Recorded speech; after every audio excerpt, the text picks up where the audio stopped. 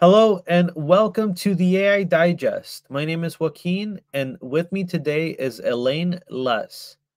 Elaine is a PhD student at the Montclair State University, and she is also a doctoral research fellow. Um, Elaine, it's a pleasure to have you.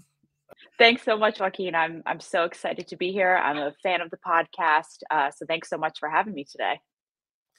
Elaine, um, I have to just immediately from the gate say I'm really impressed at how quickly you've traversed your academic journey. Um, you went and you got your bachelor's at Georgetown University in global health. You got your master's degree in education from John, John Hopkins, and now you're in Montclair State University getting getting your PhD. Did you take any rest in between any of those uh, milestones, or was it just a straight road? Well, thank you so much. I really appreciate it. And no, I uh, I went straight through. Um, for some people, it works better maybe to take a break, uh, really immerse themselves in in you know different types of work. Uh, for me, I knew that I wanted to you know keep keep it going while I had the momentum.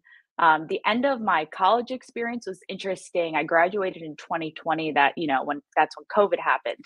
Um, so that was a little bit disruptive. You know, to be on a college campus uh, and then you know to come back home. Um, but no, I I prefer to just keep on going. Excellent. And with the research that you're doing at um, the Family Science and Human Development Department, uh, can you tell me a little bit more about what your focus is? Sure. Um, so I'm really fortunate to be um, a research assistant at the RYTE Institute, um, where we focus on research on youth thriving and evaluation. Um, so I am really passionate about um, youth and creating positive experiences for youth um, to you know build uh, strong character, to explore their interests. So what I do in the lab is I'm working on a few different projects um, where our the RYTE Institute partners with um, youth serving organizations or um, universities or different um, kinds of groups around the country and around the globe. Um, and I'm I do a couple different things. So I do data analysis. Um, you know, I'm analyzing interviews. I help with some operations in terms of you know communicating with participants. Um, I am working on writing some papers, uh, creating some interview protocols, doing the interviews, um, all to kind of get at the core of this, you know, youth thriving in one aspect, um, different uh, educational initiatives, um, things like that. So, and I'm I'm loving my time there. At this time, the focus of your work is more on an operational, tactical level. Um, at some point, do you see yourself sort of going into the administration of educational institutions and, and trying to scale up the impact that you have? Potentially. Um, you know, what I'm what I really loving right now is kind of being in a position where I'm working directly with students. So um, I was formerly a special education teacher for grades pre-K to three. Um, I'm not in the classroom anymore, but I tutor um, around town, the town I currently live in, um, and virtually with some of my previous students from Baltimore. Um, so I I still love that I'm able to you know work directly with the students. I'm also a teaching assistant, so I work with undergrads. Um, but then I also do get to be, um, you know, making some contributing to the decision making of, you know, uh, the research on these initiatives. Um, so long story short, potentially maybe, uh, you know, taking on an administrative role at some point, but um, what I do definitely see for myself is having a role where I can kind of continue that working directly with students while also, you know, working on these research projects that I hope uh, and aim to have like direct impacts on the students I'm working with. Because you're in the world of academia, I just want to understand um, how your bachelor's and master's colored the lens of the work that you're doing now. Sure. Um, so my bachelor's, I I was a global health major and disability studies minor. Um, a really cool component of my bachelor's program was that I got to go to Tanga, Tanzania uh, from September to December. And um, I got to be the principal investigator on my own research project in partnership with the uh, National Institute for Medical Research in Tanzania. Um, so, you know, my undergrad experience, the coursework I took kind of like laid the foundation in a lot of really interesting different areas, um, ranging from, you know, theology. I went to a Georgetown's a Catholic um, institution to statistics.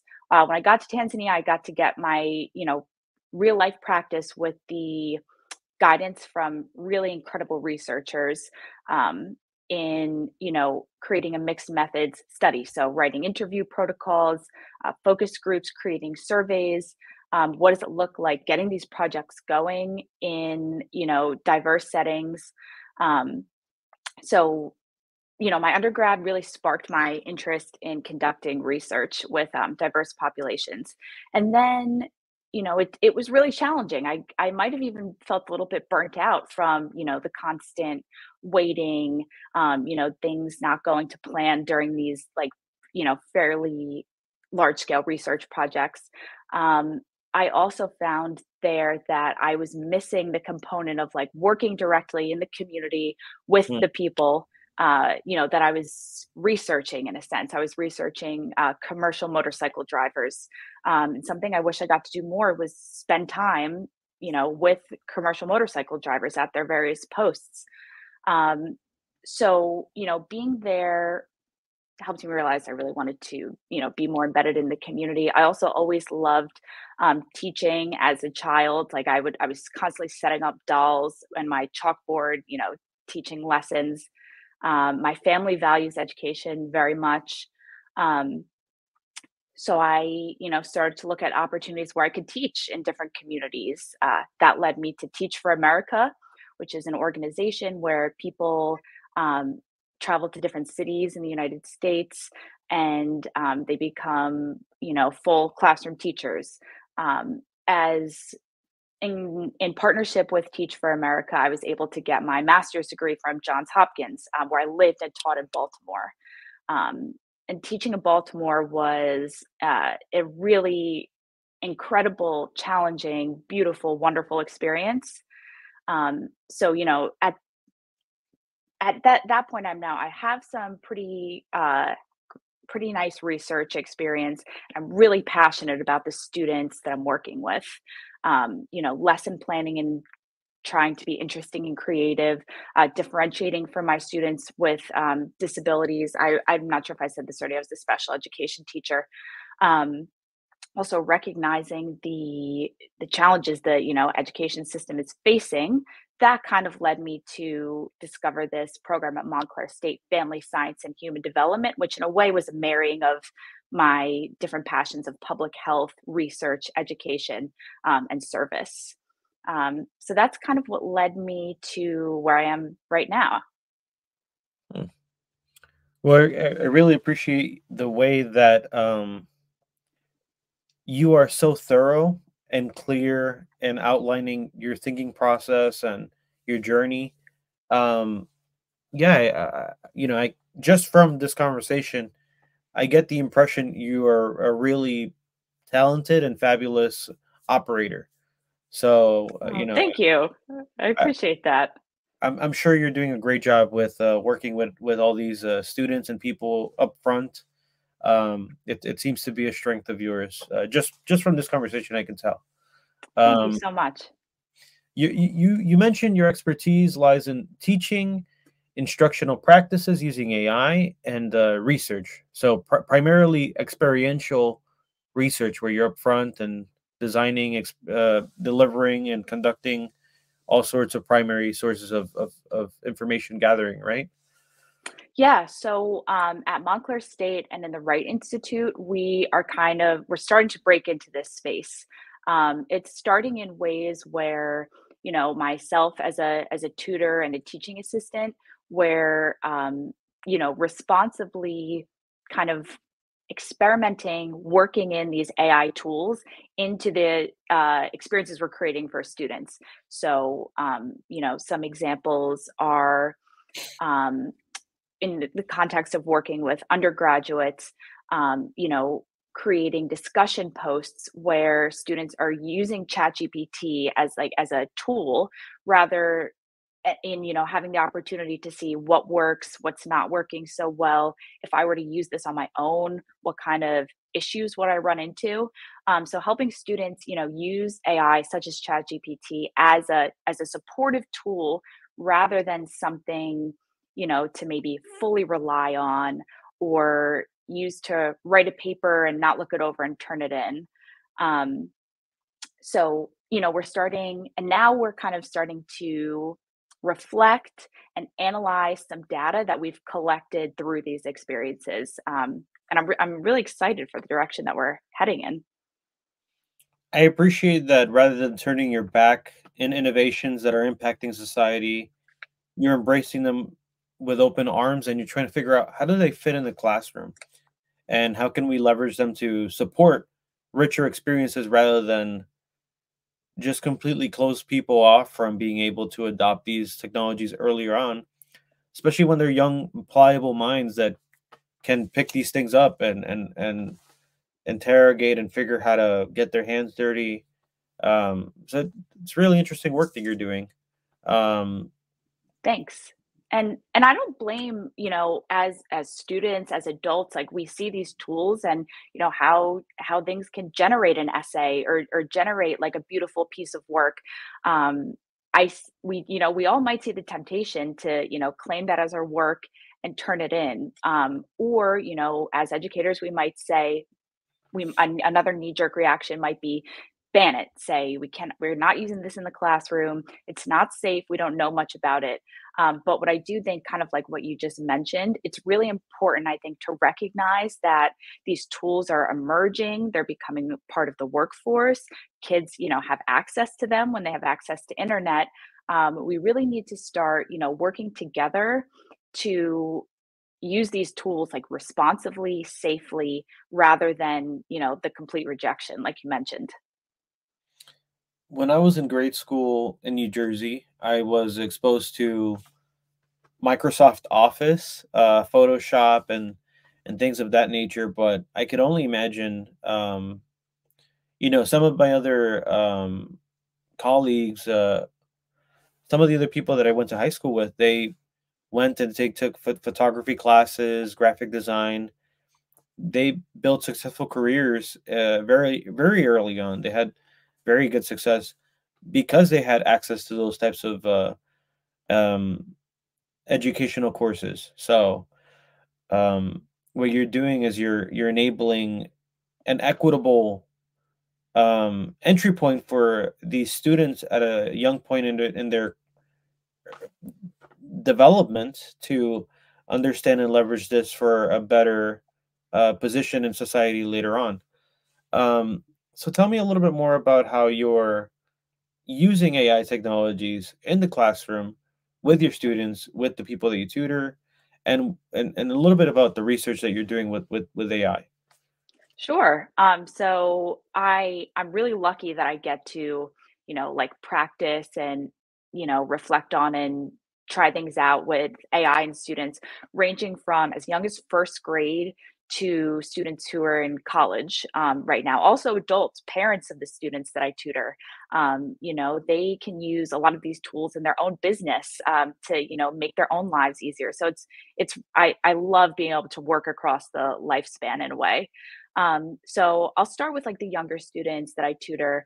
Um, so i social media is another thing I, I do really like to talk about because I feel like it's another you know tool on the internet that gives us access to a lot of people and information. Um, so I've been able to create um, a little bit of like a tutoring business using um, Facebook and Facebook groups, um, and then also just you know maintaining relationships with my former students. Um, so as I started to learn about these AI tools a little bit more, I thought this kids are going to think this is really interesting because we know from the classroom kids um, and you know a lot of people love computers it's maybe the kids favorite part of the day to you know hop on their computer and do activities so i started um, by using the ai uh, bing i think it's the bing image generator um, and the first time I tried it with a student, um, it was a situation where they didn't have any homework. Um, you know, normally we work on homework together, but I wanted to we wanted to like use our time valuably. Um, they weren't really in the mood for like you know traditional writing prompts. We're working on writing specifically, writing full sentences, writing with descriptive words. So I thought it would be interesting to show them this image generator tool.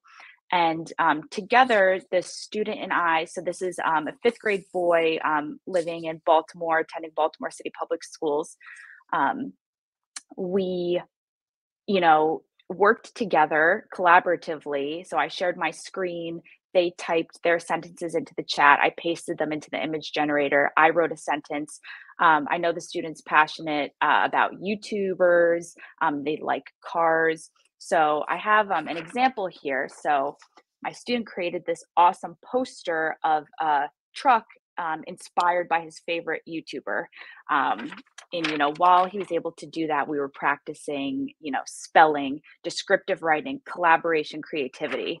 Um, with a first grade girl that I work with who's focusing on math and word problems, we use the image generator to illustrate a word problem that we were working on about a farm. Um, so, you know, this image shows the different animals that are part of the problem um, cows, goats, sheep. Something I want to note though is that these images are not totally accurate all the time. Um, for example, here, you know, we typed in, it might have been something like 42 cows, 56 pigs, and 10 goats. The numbers don't match up. Mm-hmm. Um, you know, so that's something to note. Similarly, here, um, a student created a Christmas card. Um, we can see in this Christmas card that the words are not spelled correctly. So while it's a beautiful image and it's fun for students, um, I think a valuable lesson is that it's not always correct. Things aren't always accurate.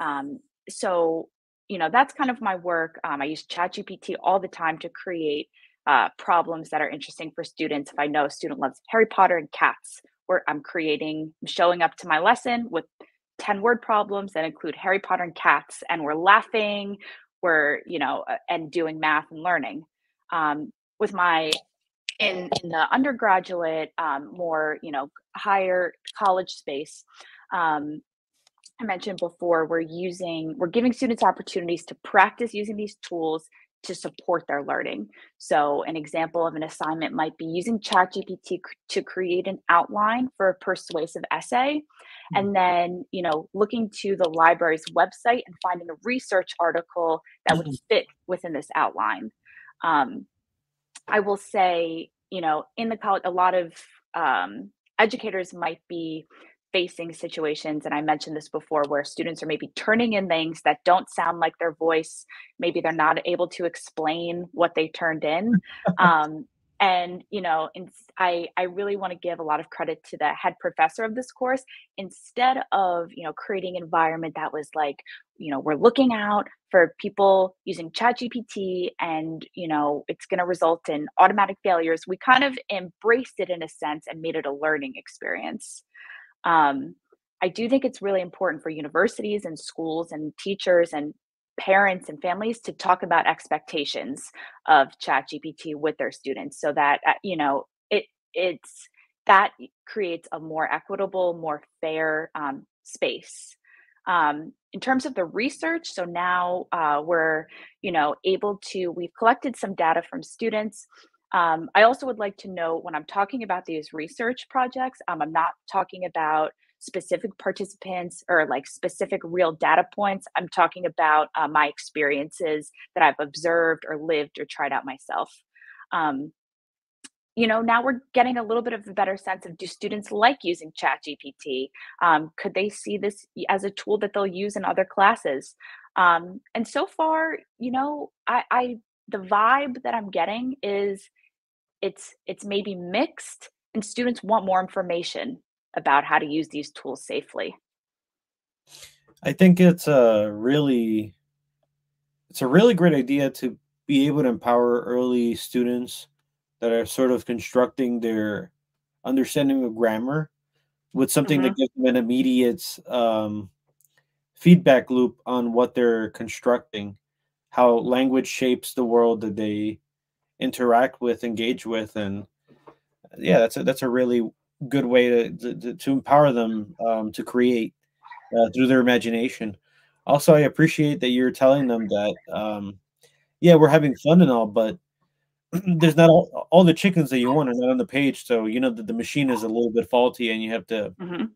pay mind to the defects of, of the machine when you claim this as something that you've created. Mm-hmm. Absolutely. Um, and um, yeah, let's let's let's go back into the into the nitty gritty details of how knowledge is constructed.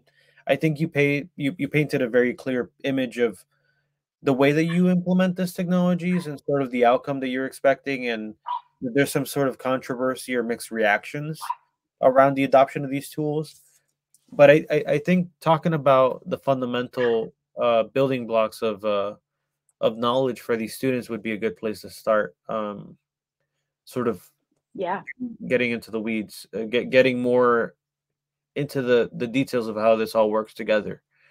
Um, Absolutely. So let's talk about education as a transformative process, and what what is the function of education in society? Yeah, that you know that it's a great it's a great question, um, and I think it looks different for different people. Um, but I guess what I could say, you know, as an educator and a student myself, I think a really big like theme or focus that needs to be kind of centered moving forward is this idea of um, you know that different people learn differently and individualization differentiation of learning experiences. So like how information is presented how students have different opportunities to demonstrate understanding. Um, i think that's like a key theme here and ai kind of gives us gives us a way to do that in in quite a lot of senses.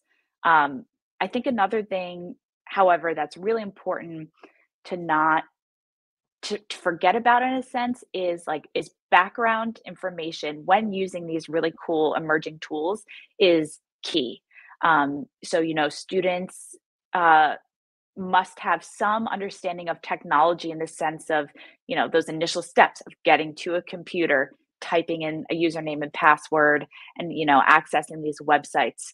Um, in you know more advanced settings i have um, a, a, classmate who has used um, chatgpt to do really advanced statistical testing in r for example um, she had a, she we took a course together that gave us a, a, foundation and a background in r what does the coding even look like?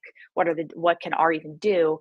Um, and then using you know the foundation to kick it up many notches and do these incredible data analysis you know with what she was able to learn using a combination of the foundation how she how she got there in the first place plus these ai tools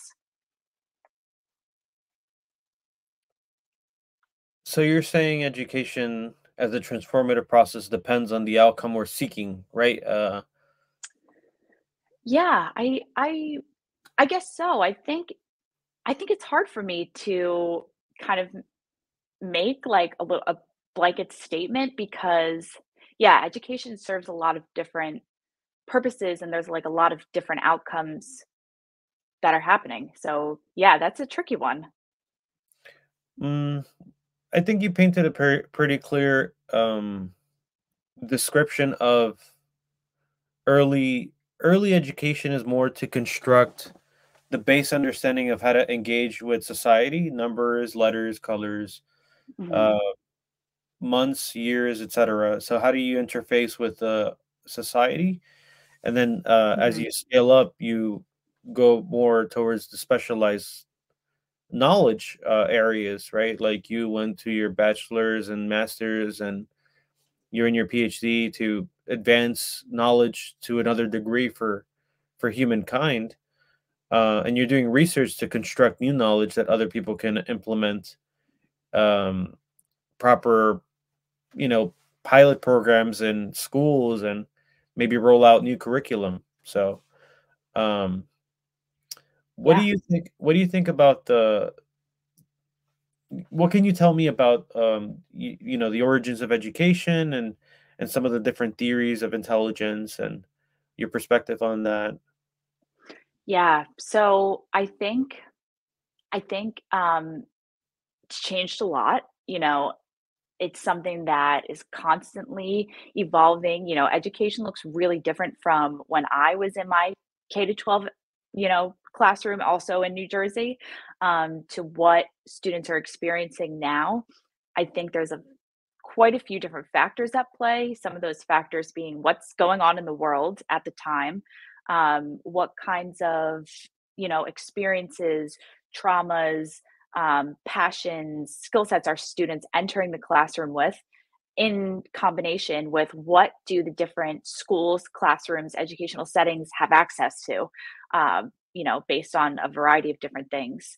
Um, i think when i when i think about different theories in education um, some that you know have been prevalent a- across decades and today and how we think about how educa- uh, technology is like changing the educational landscape. I think about social learning theory um, how people are you know learning from each other. What role does do things like social media uh, play into when you know we have students as young as um, even some of my like third grade students had social media accounts um, i believe a lot of middle schoolers I've, I've read a statistic somewhere that are spending upwards of like six, eight hours a day on social media. Um, you know, and how how does that impact, you know, the way that people are learning from each other outside of the classroom. Social media is now being used inside the classroom too, which I think is a, another pretty cool area to explore. Um, and then I also think about information processing. We, you know, people have more access to technology, YouTube, TVs. You'll see a lot of times in, in restaurants um, or anywhere, multiple screens maybe in front of a toddler in front of an infant. And and how is that impacting the way that toddlers are, you know, taking information, transferring this information from short-term to long-term memory. Um, you know, th- so yeah, I just I I constantly am thinking about change and like how technology is, you know, plays a role in this change. Does that answer the question? Yeah, yeah, yeah. And, and and you're and you're moving into a very interesting topic that um, our ability to create um, information, new new media, is quickly outpacing our capacity to consume it, Mhm, and, mhm. and worse yet, consume it responsibly.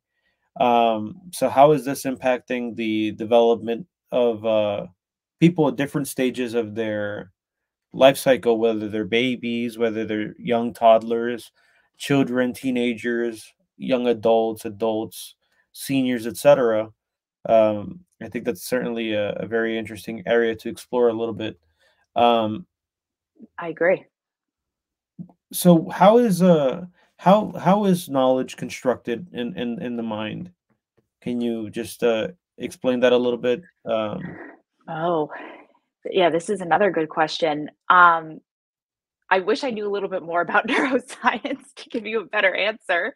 Um, but what I'm, you know, thinking at thinking about from, you know, um, a, a systems, um, like a more kind of like social systems perspective, is knowledge is constructed based on you know a few different things that are working together um, one of those things i'm thinking um, like biology i'm thinking epigenetics what kind of food do you have access to? Do you have access to nutritious you know fruits and vegetables to kind of help help the brain power get going? Um, do you have a safe space to sleep? Um, do you have you know a, an environment that's clean and you know can help you stay protected from disease um, and different illnesses? Uh, again like making the the brain a little bit more uh, absorbable to information I'm also thinking about um, who are you, what kind, what you know, kind of people are you surrounded by? I think that plays a pretty big role in you know how knowledge is acquired. Um, you know, you are we're constantly absorbing the you know, especially as children and really throughout our whole life, absorbing the thoughts, opinions, um, stories from those who we're surrounded by.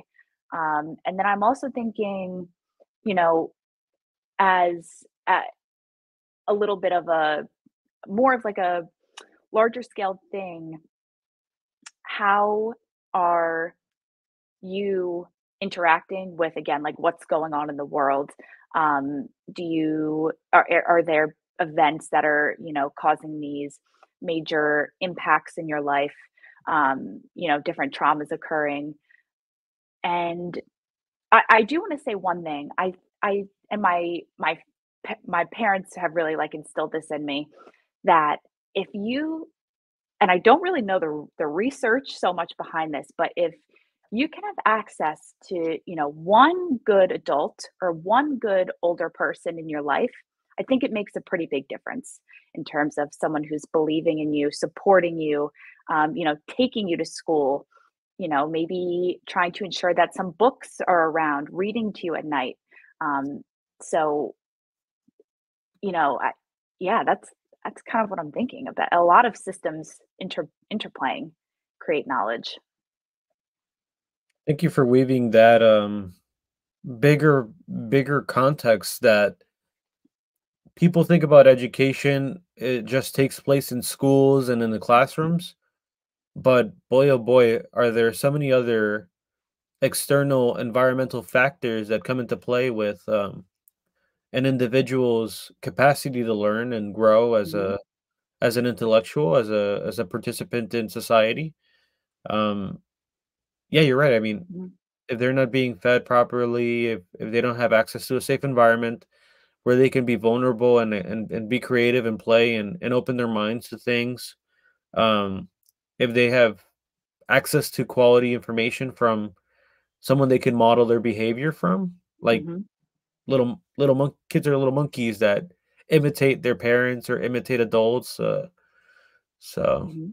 Yeah, modeling is um, a, a a concept I'm like super passionate about. I, I have to say, in terms of, I think I was super, super fortunate and had access to excellent models, um, you know, in, in a variety of areas, education, um, also, you know, just trying to be a good person. Um, and as, you know, educators, as parents, as older siblings, um, aunts and uncles, like I, I think I really encourage us all to be aware of kind of the ways that we're even just speaking to oth- speaking to other adults, speaking to children, um, because yeah, peop children and adolescents are sponges, you know, kind of taking in um, taking in everything they see. I think it's something super important to keep at the forefront. As again, we talk about like technology and how uh, we as adults are using technology. Um, you know, the ki- kids are watching everything, so might as well try to be the best examples we could be.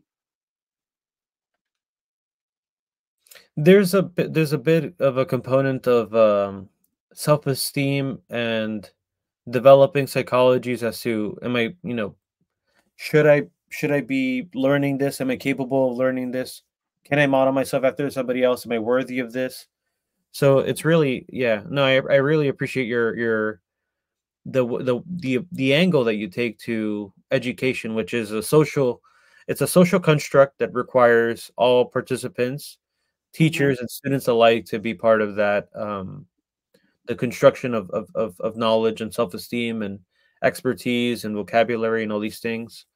Um, how do how do how do you see the change of uh, technology advancements has had in um, in, in in the space of education?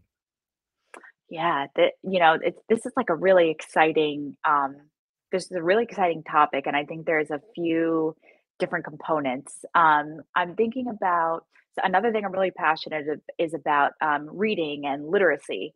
Um, one of the first, from my understanding, um, and you know, I, I also do always like to say I'm, I'm always learning. Um, if you know, people have um, information to share with me, I'm always like receptive and I'm always looking to learn. Um, so my understanding of some of the first steps of technology and education are using like online um, reading programs to help kids learn how to read. There's a lot of advantages of that, that these online reading programs are interesting to kids. There's the games, songs, cool pictures happening on the screen. Um, they adjust to students' progress. So, you know, that aspect of individualization, differentiation. So, those online reading programs, I think, were a, a pretty monumental uh, thing that happened in education. And I think it's, you know, now that we have access to so many more really advanced technology, um, I think I would love to explore how to capitalize on that more. Um, another thing that I'm seeing a little bit more, and I would love to get my hands into, is using virtual reality. Uh, you know, in the classroom, um, I've heard stories of using virtual reality, using a combination of AI and virtual reality to give students the opportunity to literally like walk around. Inside mm-hmm. a story um, you know and talk to a character in a story and I, I that that's so incredible to me um, you know so i think technology is really boosting the overall engagement and interest and that's our super in my experience a super important part of you know learning that sticks is students being interested in, in what they're doing. Um, I think also in terms of, you know, I think in, when I was in school and when, um, you know, my parents were in school, handwriting was a pretty big component. Now, I think there's less of a little bit less of an emphasis on handwriting because all essays are being turned in, uh, you know, with computers, typing. Yep, exactly. I think something that's really cool about that from, you know, a disability perspective is that there's a lot of technology such as text to speech um, technology that tracks eye movements that's making writing um, and conveying knowledge and sharing ideas way more accessible uh, to people. So I think that that changes education as well. Um, I also think about Zoom uh, you know, during the COVID 19 pandemic, uh, when, you know, schools, a lot of most in person learning shut down. Uh, and learning, it, you know, learning didn't necessarily stop. There were a lot of there were a lot of challenges, especially in cities like Baltimore. Um, you know, in in making sure that every people were connected with laptops, um, you know, a quiet, safe space to be on Zoom, um, internet access. Um, you know but that changed the educational landscape as well. We all we were doing a lot of zoom learning. I think it's pretty cool that um, people we can have guest speakers now zoom in from all over the world. I was super excited to zoom into my um, mentor from tanzania his um, phd dissertation. I, I was able to be there because of zoom uh, and i you know learned all even more about his research. Um, and then you know, we're kind of uh, one of the really popular things today is like AI and how how AI is transforming education. I think I like to think about it in con in the context of what you said earlier of um, you know self-esteem and I'm not sure that if we hadn't tried it out in our tutoring session with my uh, some of my students, I'm not sure if they would see themselves as artists and graphic designers um, and now they do, which is pretty amazing. I also like to note that those the tools were free. We didn't we I didn't pay any, you know, extra uh, cost to create this experience where you know the students felt really empowered, confident, um, things like that. I think it's changing self-directed learning quite a bit too. I shared the example of my um, classmate who did incredible things with R and ChatGPT. Um, you know this gives students a way to explore things that they're interested in um, you know test test things out in a more efficient time time frame. I do think it's important however though to talk about um, the safe the safeguards in a sense and the you know possible concerns that are coming up with ai um, you know when we think about like plate we you know we have to think about plagiarism um, we have to think about safety of you know young students having access to you know in theory they can ask this tool any question that they want. Um, yeah. It's a whole nother area that's really interesting to explore. Yeah, kindergartner shouldn't know how to make napalm or how to how to have access Uh-huh. to dangerous, potentially self-harming information. Um, Exactly. okay, well, let me ask you this. What are the challenges, uh, what are the difference in challenges for, um, constructing learning experiences with children versus, uh, adults? Oh, that's a great question. I think they're kind of similar, like, in a in a lot of ways, and I think it's they're they're similar because this is kind of like a new tool for everybody. Um, you know, it's it's new for everyone. A lot of people don't really have experience in it. I would say maybe challenges that are specific to y to, you know, my younger students, 1st, 2nd, 3rd, 4th, 5th graders, um, are you know, still things like the the literacy foundations that we're working on, you know, spelling things, uh, writing things in a way that the computer is going to understand. Um, you know, like I mentioned, something pretty cool is that we do have text to speech. You know, in theory, uh, the student could talk into the you know computer and have their sentence written out, and that that's that's more accessible for some people.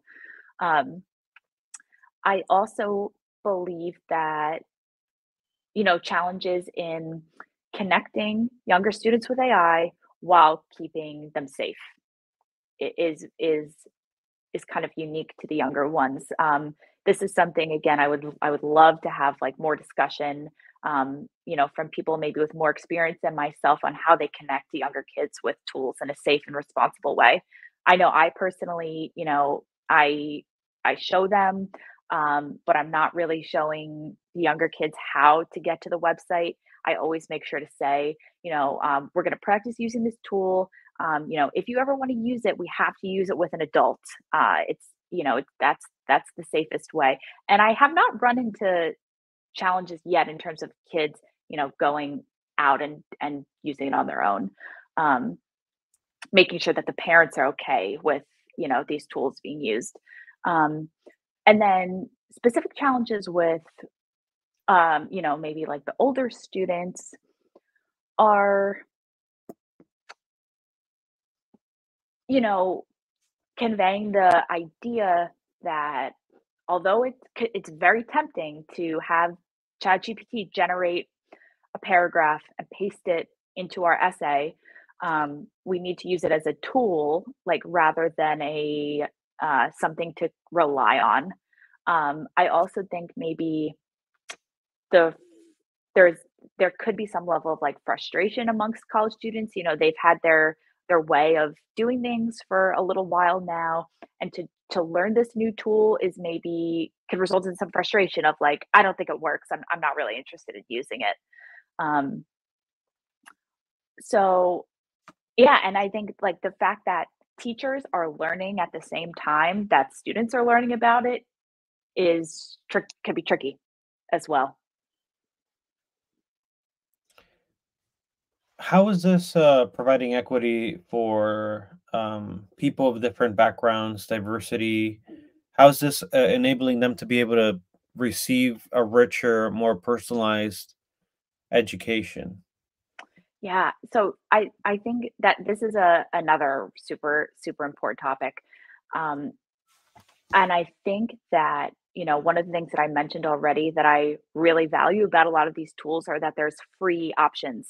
Um, you know, teachers' salaries across the country are gro the teachers are grossly underpaid. Um, so the fact that this is a uh, in a lot of senses a free tool that teachers can use um, is really amazing. Also, a free tool that you know students themselves can use is is incredible. Um, I also think that the accessibility tools that are built into a lot of these features, um, the fact that you know we have text to speech, we have we're combining maybe images and words and sounds. These this this multimedia like sensory input is really uh, you know helps create equity. Um, I think that people You know, I well, I I do I actually do wanna mention that when we're using tools like chat gpt you know, as as far as I know, things that take information from the internet and then spit something out, Um, we do definitely have to be aware of potential biases and, you know, maybe stereotypes and incorrect perceptions that the AI tools are perpetuating about different um, groups of people. So I, I do want to flag that as something uh, to be wary of. However, you know, just giving giving people various ways to express themselves and look for information, I think um, I think is, you know, helping us. There's there's still quite a bit of work to be done, but I think we're taking some good first steps in the direction of yeah, using these tools to increase equity. I see uh, platforms like Khan Academy have uh, implemented um, very narrow narrow versions of a ChatGPT in in the areas that they teach lessons in, and I find that to be a a way to bring equity to students of any you know income or demographic or infrastructure uh, space, and and as you said, it gives them the opportunity to be self-directed in their learning and take control of. I don't have to ask the teacher 50 questions if I don't get it in class but I can ask and abuse this private virtual tutor Exactly. to help me with my homework, explain it.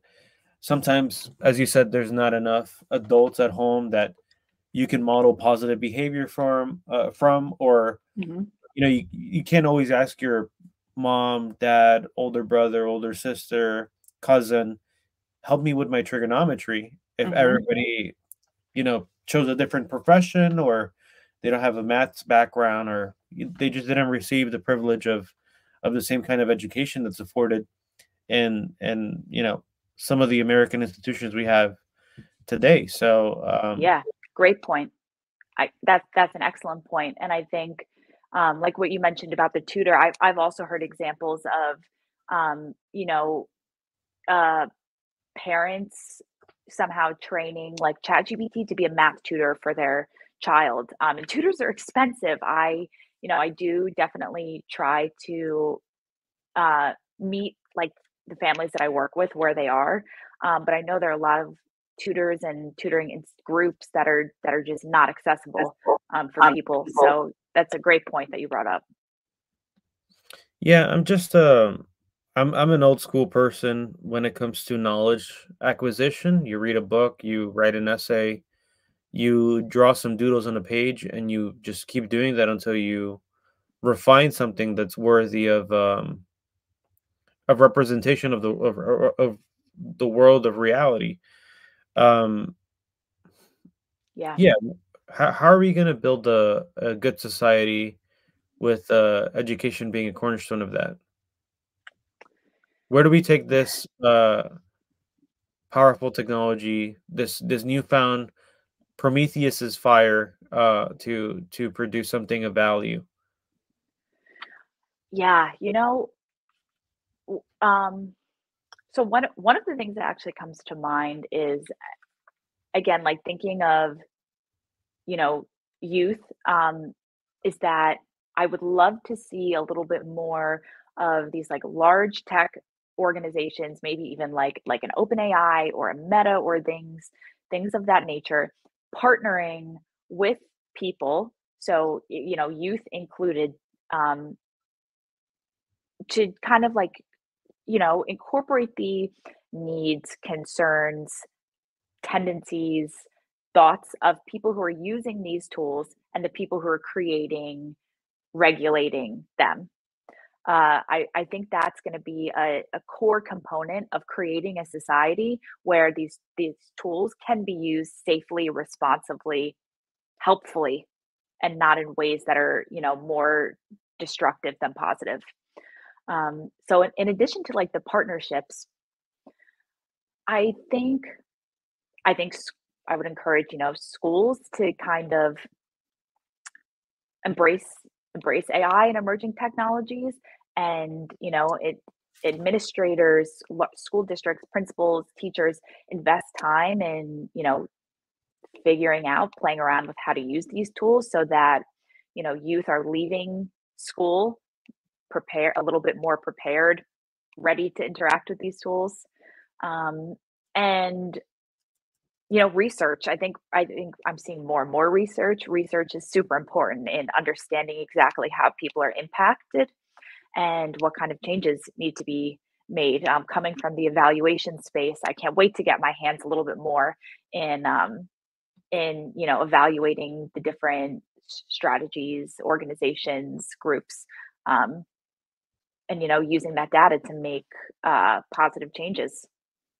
From your perspective as a hands-on researcher, from architecting the experiment and sort of what are the primary means of collecting information? How do you validate or invalidate that your hypothesis is correct?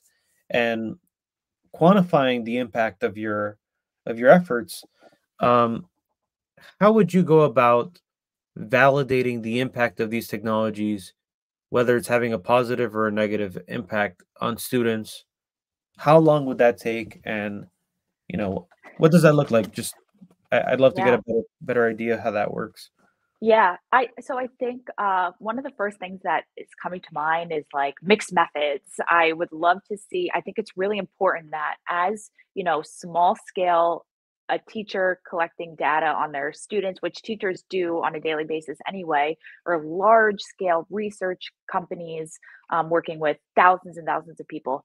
I think um, getting a combination of you know metrics, whether it's how much time is spent using these different tools, um, what what are the prompts being used, um, you know, these measurable inputs and outputs. I also think it's really important to be collecting data in the sense of interviews, focus groups, um, creating spaces where people feel comfortable sharing what's went well, the gripes that they have, the questions that they have. So I really um, encourage and I'm excited to be doing like getting into mixed methods type research. I also think um, that the research needs to be happening on every level. So, like I kind of mentioned, you know, teachers, even with their own small groups of students, tutors who work with maybe even one, you know, one child at a time, parents who are, um, you know, are watching their children maybe start to use this technology or AI as part of classroom assignments. Um, so, you know, the research needs to start as small as small scale as like in home to as large scale of these of the organizations that have a lot of power um, partnering with you know community members and people who are impacted. How long is it going to take? I think it's it's mixed. I wish i had a better answer for you. Um, you know on smaller scales um, in the context of you know a project that i'm working on right now where we are collecting data from the you know about approximately like 50 students we worked with. You know once that data is in we can pretty quickly start looking at it and adjusting for next semester's course. Um, you know so that that could be pretty rapid and i think that's encouraging for people and it's encouraging for parents and teachers that uh, it doesn't need to be a, a, a super long scale thing. These we could we could get data and feedback pretty rapidly but i also do think it's going to be interesting to do you know these longitudinal longer scale projects where people who are in fifth grade starting to use these technologies what's you know happening when they're entering you know if they decide to enter college when they're 50 years old. So i think it's i think it's mixed. And what is the utility of collecting all this primary research and asking people how they feel, what they think? How is that being um, leveraged to make informed decisions on how to tweak and tune the curriculum that's being implemented? yeah great question so i think the good the good news is that teachers are used to this kind of thing um, you know collecting data and then recognizing okay, maybe this book choice that I used didn't really resonate with my students. I'm going to do something else. Okay, maybe my students, um, I need to incorporate some more tactile activities in my reading lesson, in my lesson, uh, to you know help students become more engaged. Um, so in in the context of you know inside the classroom and outside, um, I think it's going to be helpful in this you know to keep up with these emerging, rapidly evolving situations, um, for educators to make quick decisions, even as quick as from assign weekly assignment to weekly assignment.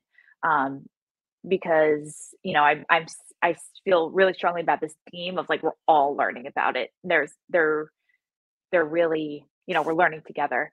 Um, I also think that just you know we don't like yeah like we don't quite have the answers yet so i i think this rapid even day to day change is uh and collection and analysis is pretty important for a brand new institution that's looking to implement these ai technologies and they're sort of they they waited and held their breath to see what the hell was going to happen mm-hmm. how would you advise uh, a smaller resource constrained institution in implementing a way for them to dip their toes in the water, so to speak, to to to to make sense of all this noise and provide some low energy but high impact value for their students. Yeah, I I I'm super happy to talk about this. So, um, some things that have worked well in my experience at Montclair State and at the RYTE Institute was that are that um, and an office within Montclair State has provided these uh, Zoom, basically information sessions on, um, you know, that that range from people who have maybe never heard of AI and want to maybe get the basics down to people who are now becoming really comfortable with it and want to embed it in every aspect of their curriculum. Um, so I think, um, you know, kind of like traditional basic information sessions are a good place to start with creating some um, in, in the case of montclair state i have these awesome powerpoints where i can you know click on links directly in the powerpoint um, to get to its specific resource. Um, so you know f- free free information sessions i think could are are a valuable tool here. I also think i would encourage universities or organizations to kind of come together and come up with some sort of starting policy on or expectations on what is cool basically with AI use in the classroom and what is not cool.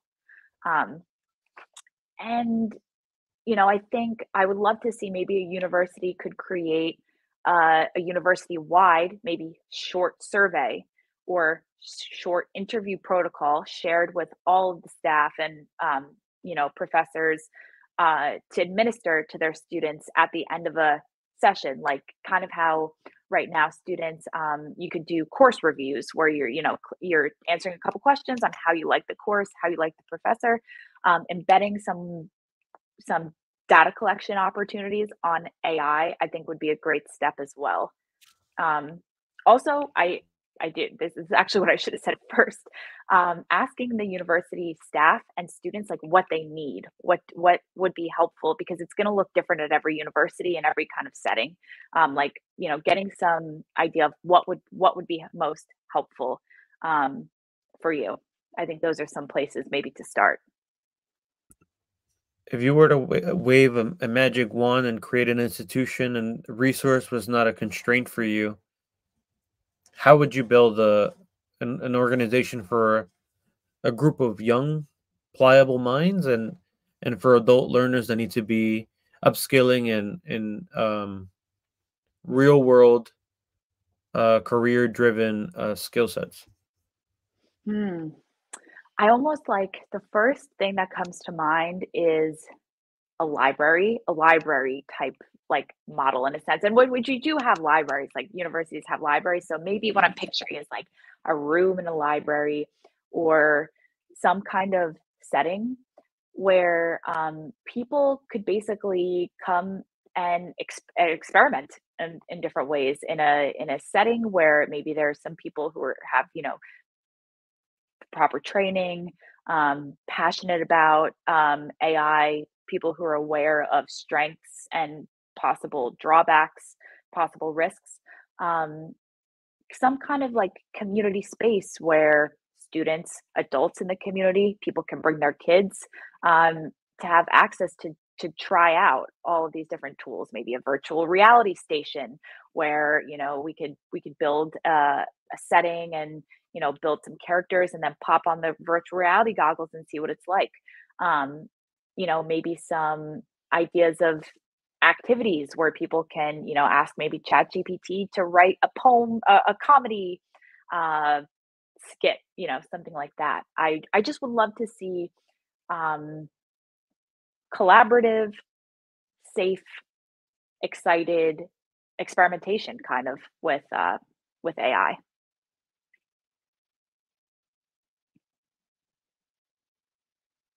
And uh, for adults, For adults, I think, you know, I I like spaces where um, adults adults, youth, college students, everyone could kind of interact together. I find that especially from so adults adults included, I think in what I just described. Um, I think it's advantageous for a lot of people to be able to go to a learning experience or anything with their family. I'm thinking about, you know, parents and and kids of different ages. You know, it might be most convenient for that whole family to go somewhere together and do some learning.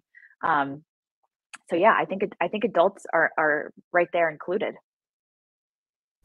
I appreciate that um, that perspective that um, there's no there's no real barrier to knowledge, and it's a particip. It, it, it's very much a, a team sport, hmm um, and everybody's an active participant, even though you have different levels of expertise or knowledge. Uh, centers of learning, I think that's what they call them in kindergarten classrooms. That they Yeah, have the color coloring station and uh, you know uh, nap, nap time station, snack time station, what- all these different tactile areas where you can pick up resources and um, okay, I do this or you know it, it, Yeah, and those are super valuable, and tha that's some of our most, like, transformative learning experiences. So, yeah, that's a great connection. well, Elaine, um, are there any words of advice For educators that are experimenting with this, if you were to prescribe in, in a three-step process on how to just engage, where would you where would you get started? Hmm. I would say experiment, collaborate, and adjust. I would say, um, you know, you have to start somewhere. So giving, even just opening the website, um, trying some prompts out, trying different websites. Um, so giving things a try. I also, uh, the second part, collaboration, being that so much of the information that I got as a classroom teacher that I get today as a tutor and as a student myself, um, things I'm passionate about, I are from other people's Facebook groups, um, like you know things like LinkedIn, things like TikTok. I follow uh, tons of teachers who I'm, you know, they play video. I immediately go to the website and download the resource. Um, X uh, is another place uh, where I'm I'm getting ideas all the time.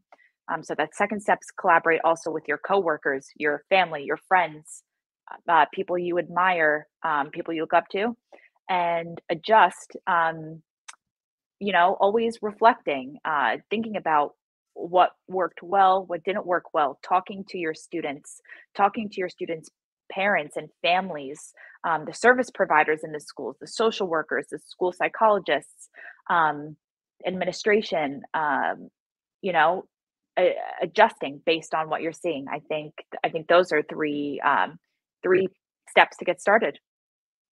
Well, thank you very much, Elaine, for giving us a, a, a bit on your background and helping us understand how we can wield AI to provide more equitable experiences for students at different levels of development. Um, I certainly learned a lot, and I I appreciate you providing such a wide um, context map as to it's not just the lessons in the classroom; it's it's the whole world that needs to participate in the learning experience of a of a person. Um, and we're helping we're all helping each other. So Absolutely. hmm We're all in this together. thank you, Elaine. Thank you so much.